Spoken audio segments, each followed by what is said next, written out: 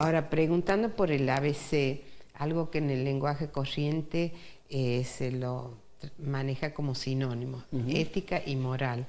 Eh, ¿Qué dirías de diferencia entre uno y otro concepto? Eh, son obviamente conceptos ambiguos y, yo hago una alusión a una distinción, digamos, relativamente técnica, ¿no? A veces se lo usa indistintamente en la vida diaria.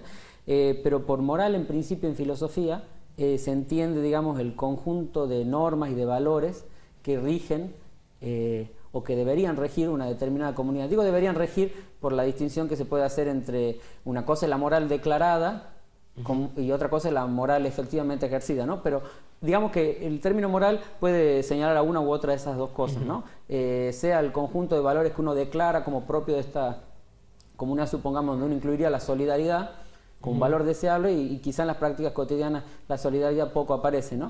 Pero la moral entonces sería una cuestión más bien de hecho y se puede hablar, por ejemplo, de la moral, supongamos, eh, judeo-cristiana, la moral, eh, digamos, de, no sé, del pensamiento chino, en fin. No, no, no hace la alusión a un concepto universal, sino a un conjunto de reglas que podrían ser distintas y que son de hecho distintas en distintas culturas, ¿no?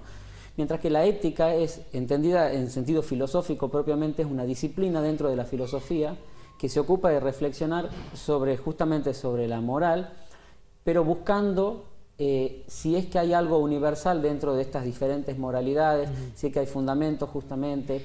Eh, es decir, eh, en muchos de los casos, muchos de los grandes pensadores, digamos, de la filosofía moral tradicional, que es lo mismo que decir ética, filosofía moral en este contexto, han sido, digamos, han producido intentos por fundamentar la moral en diferentes cosas, pensando en Aristóteles, Kant, eh, John Stuart Mill, en fin, distintos intentos tradicionales por ofrecer un fundamento de una determinada moral, considerando que esa moral en particular es eh, de alguna manera eh, más valiosa que, otras morales, ¿no?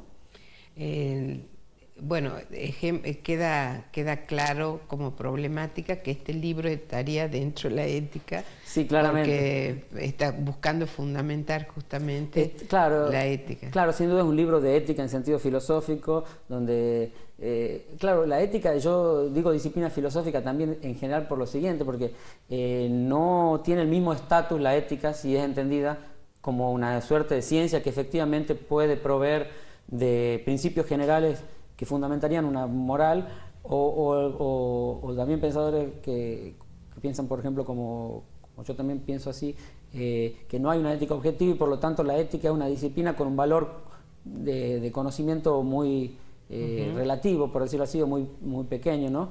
porque más bien se ocupa de aclarar lo que hay en la moral y no tanto de fundamentar ni de proponer una determinada moral como más válida que otra. O, o una teoría. Claro.